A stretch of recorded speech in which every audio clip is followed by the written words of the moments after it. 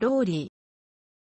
ローリー、ラーレーは、アメリカ合衆国ノースカロライナ州中央部に位置する都市。同州の州都であり、ウェイク郡の郡庁所在地である。また、北はニュージャージー州から南はアラバマ州までピードモント台地の東縁に連なる滝線都市の一つとしても知られている。人口は40万3892人。2010年国勢調査で2000年の国勢調査時と比較して約46%増加しており、シャーロットに次ぐ州第2の都市となっている。ローリー地域のほとんどは米区軍内に属し、一部が西隣のダーラム郡にかかっている。ローリーの郊外には、西に隣接する発展著しい大型衛星都市、ケリーをはじめ、いくつかの衛星都市化した町村がひしめいている。ローリーは近隣のダーラムやチャペルヒルと共にリサーチトライアングルと呼ばれる都市圏の中心都市として発展してきた。リサーチトライアングルの名は1959年にこの地域に設置されたリサーチトライアングルパークに由来している。また、このトライアングルという名は、ローリーのノースカロライナ州立大学、ダーラムのデューク大学、及びチャペルヒルのノースカロライナ大学の3つの大学に由来している。正式には、リサーチトライアングルは、この3都市の名を冠して、ローリーダーラムチャペルヒル広域都市圏という。ローリー都市圏とダーラムチャペルヒル都市圏の2つを抱え、11、軍にまたがるこの広域都市圏は191万2729人の人口を抱えている。また、そのうちの3軍を占めるローリー都市圏だけでも113万490人の人口を抱えている、いずれも2010年国勢調査。また、ローリーにはオークの木が多数立つことから、オークの町、City of Oaks と呼ばれている。なお、市名は日本語では、ローリーと表記されるが、現地の発音では、ラリーに近い。本項目においては、日本語における慣用表記に従い、ローリーという表記を用いる。1770年12月、ジョエル・レーンがノースカロライナ州議会に提出した嘆願書が通り、この地にウェーク郡が創設された。ウェーク軍域はカンバーランド、オレンジ、ジョンストンの各軍からそれぞれ一部が取られての再編によって形成された。軍名は、当時の州知事、ウィリアム・タイロンの妻、マーガレット・ウェイク・タイロンから付けられた。最初の軍長は、ブルームズバリーに置かれた。ローリーが州都に選ばれたのは、その18年後、1788年のことであった。公式には、ローリーが新しい州都及びウェーク軍の新しい軍庁所在地として創設されたのは1792年であった。氏名はロアノーク島に最初のイングランド植民地を築いたウォルター・ローリーから付けられた。この地に市が建設された理由の一つには、州議会議員がよく集まった酒場、アイザック・ハンターズ多番から10マイル、約 16km の範囲内にあったことがあったと考えられている。この地にはすでに創設されていた都市や町などはなかった。ローリーは全米でも数少ない創設当初から州都として建設された都市の一つである。最初の市境はダウンタウンの東、西、南、北を走る通りで形成されていた。市内の通りは5番の目のように区画され、4つの公園と1つの中央広場が設けられた。1794年12月には、ローリーで初めてノースカロライナ州議会が開かれた。ローリーは正式な市となり、7人の議員からなる市議会と警察行政長官が置かれた。警察行政長官は1799年に市長の管理下に置かれ、市議会は1803年以降は市から選出されるようになった。1799年にはローリーで初の新聞となったノースカロライナ・ミネルバーローリー・アドバタイザー NC ミネルワラーレアドバタイザー紙が発刊された。19世紀に入ると、やや遅れたもののインフラの整備が進められた。1818年には上下水道が引かれ、1819年には有志による消防団が結成された。1821年には全日勤務の消防局が設置された。1840年には、ウィルミントンローリー鉄道、及びローリーガストン鉄道の2本の鉄道が開通した。また、この1840年には、1831年に消失し、その2年後、1833年に再建が始まった集会議事堂が完成した。現在残っている庁舎はこの年に再建されたものである。1853年にはローリー近郊で最初のステートフェアが開かれた。1858年にはローリーで最初の高等教育機関となるピース女子大学が設立された。南北戦争が開戦すると、州知事ゼブロン・バード・バンスは、北軍の攻撃からの防護を目的として、市の周囲に胸の高さまでの防壁を張り巡らすことを命じた。北軍のウィリアム・シャーマンがカロライナ方面作戦を展開している最中には、ローリーはジャドソン・キルパトリックの指揮下にあった北軍の兵士によって占領されていた。南軍の兵士が西へ逃走すると、北軍がそれを追い、近郊のモリスビルで戦闘となった。南北戦争中に死が大きく、被害を受けることはなかったが、戦後の経済問題やレコンストラクションの影響も余って、その後数十年にわたってほとんど成長しなかった。1865年に南北戦争が終結すると、アフリカ系の市民に教育の機会が与えられ、男子には参政権も与えられた。解放黒人局の助力により、多くの解放奴隷が田舎からローリーへと移入してきた。1865年には南部初の黒人大学、小大学が開学した。小大学は開学当初は男子大学であったが、やがて共学に移行し、全米で初めてとなるアフリカ系女子学生の教育を行う校舎として、エテーホールが建てられた。また、小大学にはアフリカ系学生のための4年生医学校としては全米初となるレナードメディカルセンターも設置された。1867年には聖公会が解放奴隷を受け入れる高等教育機関としてセントオーガスティンズ大学を開学した。さらに1869年には州議会は全米初のアフリカ系盲人、聾人学校をローリーに設置することを可決した。しかし、人種の壁が完全に取り払われたわけではなかった。1900年、州議会は新しい州憲法案を可決させた。この州憲法により、ほとんどの黒人と多くの貧困層の白人から投票権は剥奪された。1908年には黒人票は例になった。アフリカ系の市民の多くが再び投票権を得たり、裁判において陪審員となったり、地方公務員として従事したりすることができるようになったのはそれから第5、1965年以降のことであった。クラレンス・イー・ライトナーは1967年に市議会議員に当選。その後1973年には市長に就任し、ローリー市史上初のアフリカ系市長となった。ローリー最初の空港、カーティスライト飛行場は1929年に開港した。しかしこの空港は市街地にあって手狭で商業飛行には不向きであった。同じ年の10月24日、ニューヨーク証券取引所での株価暴落に橋を発した世界恐慌により、ローリーでも6つの銀行が閉鎖されるなど、地域経済は困難に直面した。この状況のもと、1930年代には、市政府や州政府など、あらゆる階層の政府が一丸となって雇用の創出に当たった。また、ローリー市政府は、レクリエーションプログラムや教育プログラムを提供し、公共事業によって雇用を創出した。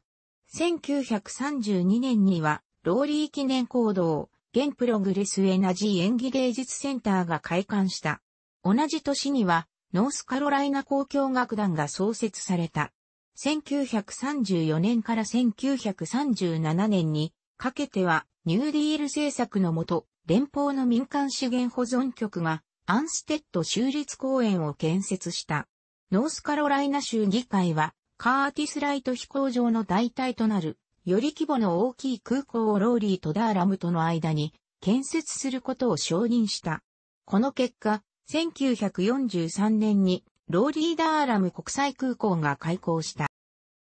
1959年にハイテク産業を誘致すべく、ローリーダーラムチャペルヒルの三市長官にリサーチトライアングルパークが設立されると、ローリーは急成長を始めた。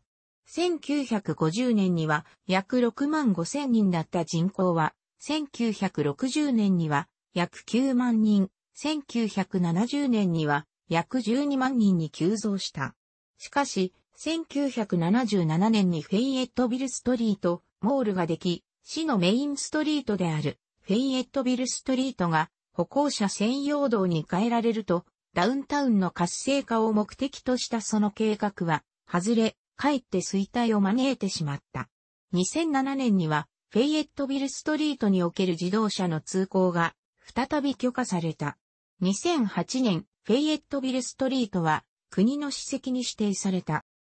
1990年代に入ると、ローリーのスカイラインにも高層ビルが加わるようになった。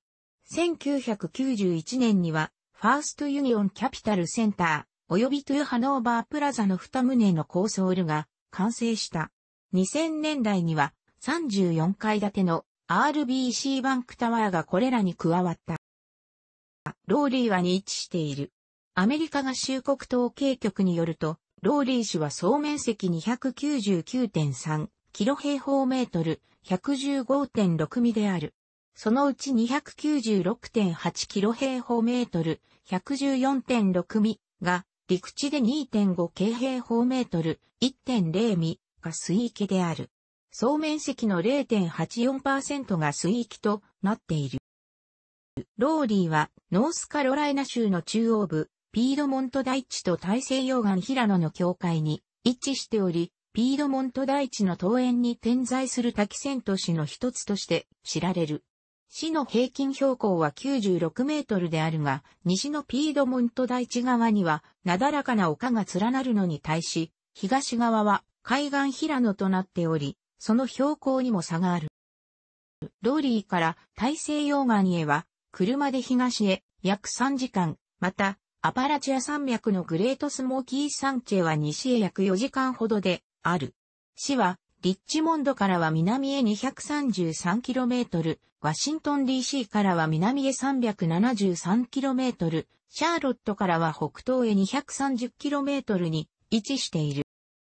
ローリーの気候は四季がはっきりしており、暑い夏と肌寒い冬、おおむね過ごしやすい春、秋に特徴づけられる。夏の日中はしばしば摂氏30度を超えるが、夜になると摂氏20度前後まで下がり、熱帯夜になることはあまりない。冬の日中は摂氏10度ほどまで上がるが、夜になると摂氏0度前後まで下がり、氷点下に下がることも珍しくない。降水量は1年を通じほぼ一定で、夏にやや多くなり、春、秋にやや少なくなる。年間降水量は約 1060mm、降雪量は約 17.8cm である。欠片の気候区分では温暖湿潤気候、CF に属する。ローリーは大きく分けると7つの地区に分かれる。市の中心部、環状道路、I-440 の内側はダウンタウン、もしくはオールドローリーと呼ばれる。ダウンタウンには、ノースカロライナ州会議児童をはじめとする州政府、市政府の中枢機関のほか、文化施設も集中している。また、1920年代に建てられたサー、ウォルター・ローリーホテルなど歴史的建築物が点在し、国の史跡にも指定されているフェイエットビルストリートが通る市の歴史地区でもある。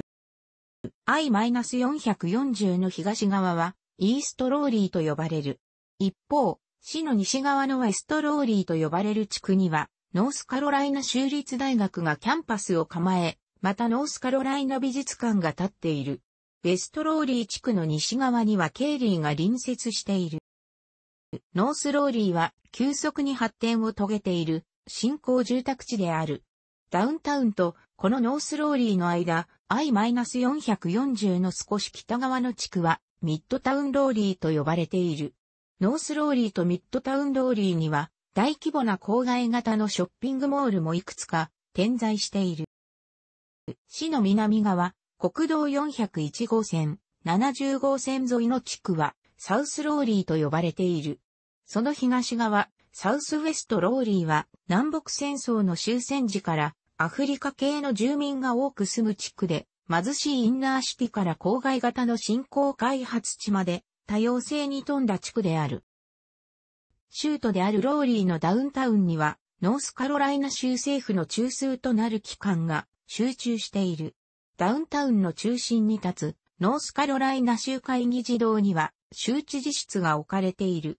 1840年に完成したこの庁舎内には当初は州政府全体が置かれていたが、1940年にノースカロライナ州最高裁判所が、1963年にノースカロライナ州議会が、また1969年には副知事室が移転し、州会議児童には州知事室のみが残っている。ノースカロライナ州議会は、州会議児童の一ブロック北に立地するノースカロライナ州立法府に議場を置いている。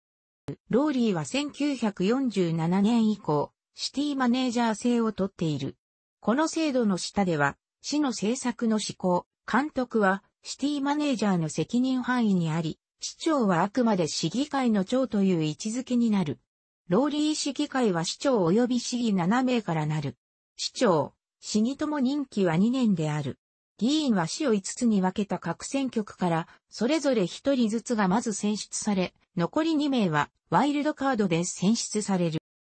ローリーが特に力を入れている産業分野としては、情報技術、通信機器、コンピュータ、ビデオゲーム、高度医療、生命工学、及び繊維産業が挙げられる。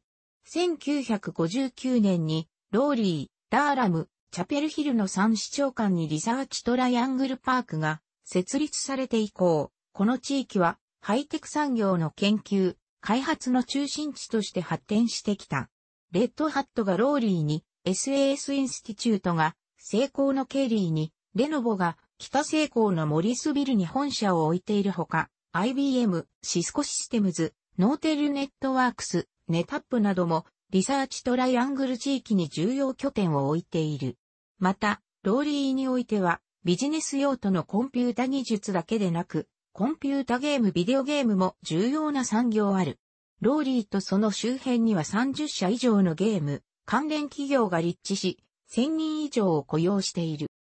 リサーチトライアングルパークの存在は、情報技術、通信機器、コンピュータ産業だけでなく、高度医療や生命工学の発展にもつながっている。これに加え、ノースカロライナ州立大学のセンティニアルキャンパスには、生命産業訓練、教育センター、バイオマニュファクチャリング、トレーニングエデュケーションセンター、ビーテックが設置され、生命工学や製薬に携わる研究、開発者を育成するための教育、訓練を行っている。また、センティニアルキャンパスには、繊維学部も置かれ、ノースカロライナ州伝統の繊維産業の発展を支えている。ローリーの地で生産された繊維製品は、医療用品や自動車産業、航空宇宙産業においても利用されている。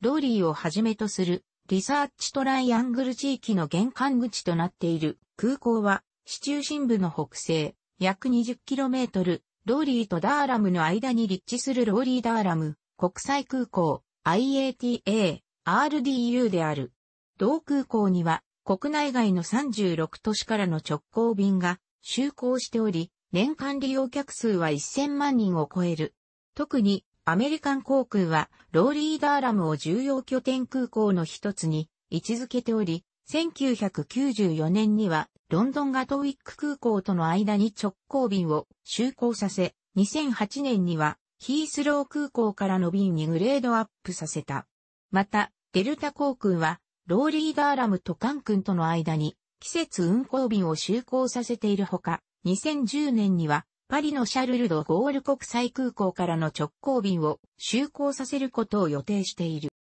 周回高速道路 I-40 は市の南側を通っている。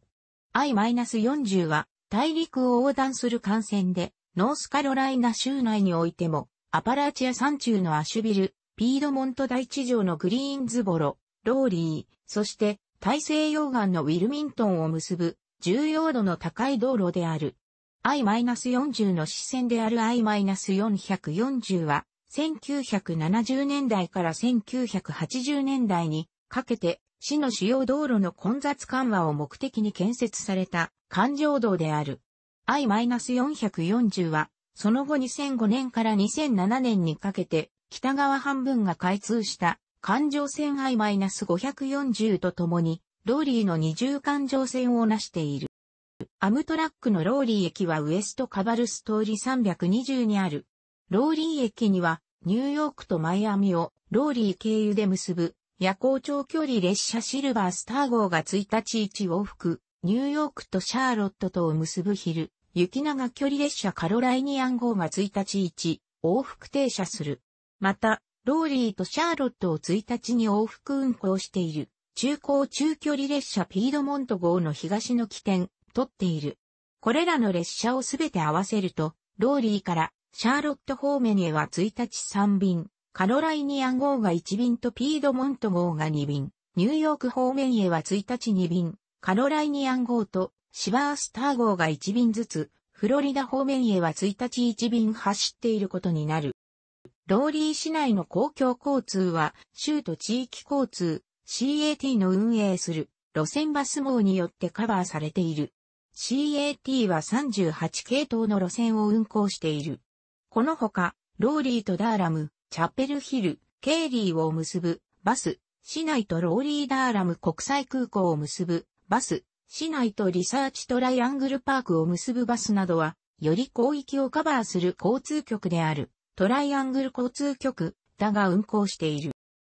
ノースカロライナ州立大学はダウンタウンの西にメインキャンパス、メインキャンパスの約 1.6km 南にセンテニアルキャンパス、約 4km 西にウェストキャンパスと3つのキャンパスを構えている。1887年に開校したノースカロライナ農工大学を前身とするこの州立大学はダーラムのデューク大学、チャペルヒルのノースカロライナ大学とともに、リサーチトラングル地域を代表する大学である。同学は1932年にノースカロライナ大学システムに加わり、1963年に現在の校名に改められた。同学はリサーチトライアングル地域最大の大学で学部生約23,700人、大学院生約7,400人を抱えている。同学は農工大学からの伝統の農学部及び工学部に加えてデザインや繊維学の分野で高い評価を受けている。また同学のスポーツチーム、ウルフパックはノースカロライナ大学のターヒールズやデューク大学のブルーデビルズ同様、アトランティックコーストカンファレンスに所属している。ノースカロライナ州立大学に加えて、ローリーには4校の私立大学がキャンパスを構えている。メレディス女子大学は1891年創立のバプティスト系リベラルアーツカレッジで女子学生のみ約2000名を抱えている。同学のキャンパスはノースカロライナ州立大学のメインキャンパスの北西に立地している。ピース女子大学は約700名の学生を抱える長老派教会系のリベラルアーツカレッジで、その創立は1857年とローリーでは最も長い歴史を有する。小大学と成功会系のセントオーガスティン大学は、ヒストーレクリーブラックカレッジと呼ばれる、アフリカ系の学生に高等教育の機会を与えるために設立された大学である。小大学には約2700名、セントオーガスティン大学には約1700人の学生が在学している。ローリーの K1 ミカほどは、ウェーク軍公立学校システムの下で運営されている、公立学校によって支えられている。もともとは、ローリー氏とウェーク軍は、別個に公立学区を有していたが、1976年に合併して、ウェーク軍公立学校システムとなった。同学区は、ノースカロライナ州最大、全米でも19番目の規模を有する公立学区である。この公立学校とは、別個に、ローリーでは、初等教育9校、高校3校のチャータースクールが、州の認可のもとに運営されている。このほか、ローリー市内には、各教派の教会が設立した学校などの私立学が25校ある。ノースカロライナ美術館はダウンタウンの北西、ノースカロライナステートフェア会場やノースカロライナ州立大学ウェストキャンパスの近くに立地している。同館は古代美術から近代美術まで、またアメリカ美術のみならず、ヨーロッパ美術やアフリカ美術まで幅広い作品を展示している。これらの展示品の大部分は公費で購入されている。また、広大な敷地を有する同館の屋外には彫刻が点在し、全米有数の彫刻公園を形成している。同館の敷地内には野外劇場もあり、コンサートやライブ演奏会も開かれる。2000年には同館に寄付されたオーギュストロダンの彫刻22体を特別展示し、30万人以上の来客を集めた。プログレスエナジー演技芸術センターは、もともとは1932年に建てられたローリー記念講堂に、フレッチャーオペラシアター、ケネディシアター、及びメイマンディコンサートホールが2001年に加わり、統合してできた複合施設である。2277席を有するローリー記念講堂ではしばしばミュージカルの公演が行われる。ノースカロライナ交響楽団はメイマンディコンサートホールを本拠地としている。他にもノースカロライナ歌劇団、カロライナバレエ、ノースカロライナ劇団などがこのプログレスエナー、センター内の施設で公演を行っている。プログレスエナジーセンターの前面には、リッチンプラザという芝生の広場が設けられている。この広場は、野外のイベント会場として使われている。ダウンタウンには、ノースカロライナ自然科学博物館、及びノースカロライナ歴史博物館という二つの博物館がある。ノースカロライナ自然科学博物館は、アパラチア山地からピードモント大地を経て、大西洋岸に至るまでのノースカロライナの動植物やノースカロライナの自然史に関する展示物を展示している。同館は年間約70万人の見学客を集めている。一方、ノースカロライナ歴史博物館は、ノースカロライナにおける軍事や装飾芸術、人々の暮らしなど、人類の歴史に的を絞った展示物を展示している。同館内にはノースカロライナスポーツ殿堂も併設されている。ローリーには NHL イースタンカンファレンス南東地区に属するカロライナハリケーンズが本拠を置いている。もともとはコネチカット州ハートフォードに本拠を置くチームで、チーム名もハートフォードホエーラーズといった。1997年にホエーラーズは成績と人気の低迷からの脱却を図って、ノースカロライナ州に移転し、チーム名もカロライナハリケーンズと改めた。新本拠地とする予定であった RBC センターが建設中であったため、カロライナハリケーンズとしての最初の2年間は、グリーンズボロのグリーンズボロコロシアムを仮本拠地としてプレーしてい、1999年に RBC センターが完成すると、ハリケーンズはローリーでのプレーを始めた。ローリーに移転してからのハリケーンズは、急速に力をつけ、2001年には、決勝で、デトロイト・レッドウィンスに敗れはしたものの、チーム史上初のスタンレーカップ決勝進出を果たした。2006年には再び決勝進出を果たし、RBC センターでの第7戦でエドモントン・オイラーズを破って初優勝を果てだた。ハリケーンズのスタンレーカップ獲得は、ノースカロライナ州に本拠を置く、プロスポーツチームとしても、初となる全米タイトルであった。RBC センターは、ノースカロライナ州立大学ウェストキャンパスの西、同大学のスタジアムであるカーター・フィンレースタジアムに隣接して立っている。同センターはハリケーンズのみならず、ノースカロライナ州立大学ウルフパックの男女、バスケットボールチームも本拠地にしている。しかし、カーター・フィンレースタジアムとは異なり、大学側は同センターを所有しておらず、運営にも関与していない。ローリーの都市圏、及び広域都市圏を形成する各軍の人口は以下の通りである。2010年国勢調査。以下に、ローリー氏における1900年から2010年までの人口推移をグラフ及び表で示す。ローリーは以下3都市と姉妹都市提携を結んでいる。楽しく、ご覧になりましたら、購読と良いです。クリックしてください。